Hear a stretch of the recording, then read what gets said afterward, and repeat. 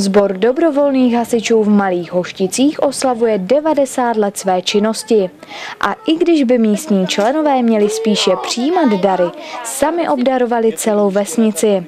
Vše započalo aktivitou pro žáky místní základní školy, kdy si děti mohly prohlédnout hasičská vozidla, ale také výstroj a výzbroj. Tak v rámci oslav 90 let založení sboru dobrovolných hasičů v naší obce jsme pro místní občany a žáky základní a mateřské školy uspořádali takovou e, výstavku a ukázku hasičské techniky. Ukázky se účastní profesionální hasiči ze stanice Opava a ze záchranného útvaru z Hlučína a dobrovolní hasiči z naší obce Malých Hoštic a Kravař slaví to s veškerou důstojností, protože těch 90 let, co tady hasiči v Hošticích byli a jsou, udělali obrovský kus práce.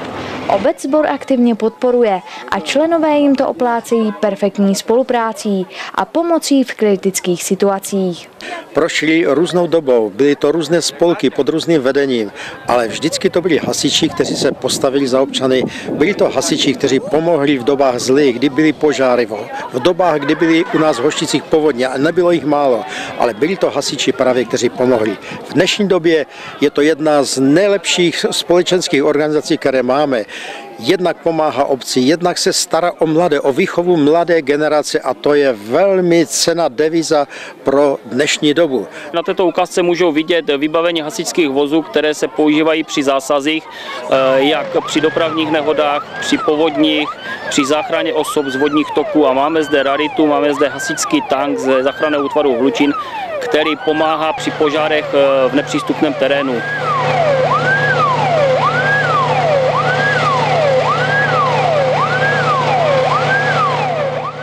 Po pestrém programu byl čas věnován také duchovnímu rozjímání, a to v rámci mše svaté.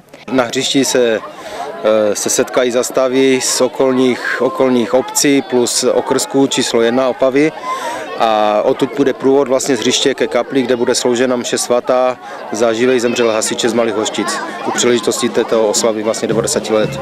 Nejprve se však všichni zúčastnění zhromáždili při slavnostním průvodu.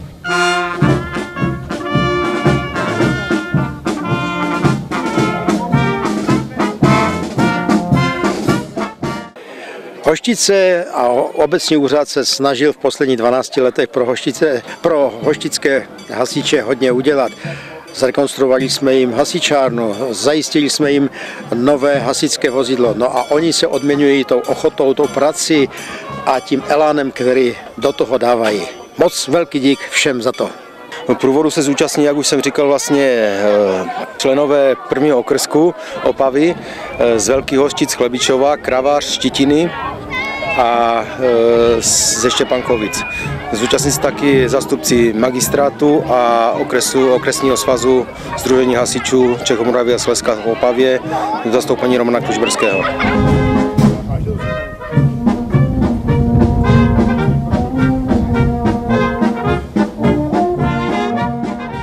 Jsem rád, jsem rád, že této akce, vlastně dvoudenní akce se zúčastnilo jak, jak školka, tak škola vlastně i spoluobčané, což jsme překvapení. Uh, jsme překvapení, že i v dopoledních hodinách ve všední den přišlo tolik zájemců o hasičskou techniku. Takže já bych chtěl rád popřát těm hasičům do té další devadesátky, ale radši to necháme do té stovky a potom budeme pokračovat dál, aby se jim dařilo, aby měli takovou chuť a takový elan, jako mají doposud a aby ještě odvedli kus dobré práce.